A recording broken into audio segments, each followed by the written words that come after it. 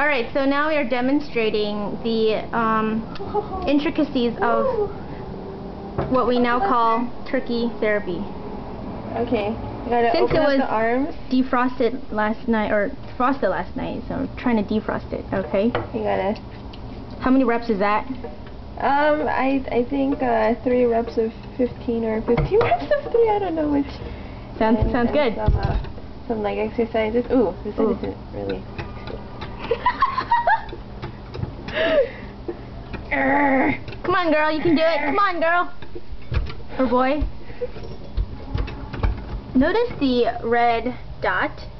That is our buddy and friend. It will tell us when Mr. Turkey will finish cooking. Ooh, ooh, ooh. Ooh, I think you got that wide open right there. Yeah, I got some. Wing action. Looks like it's about to fly into Oh our God. mouths.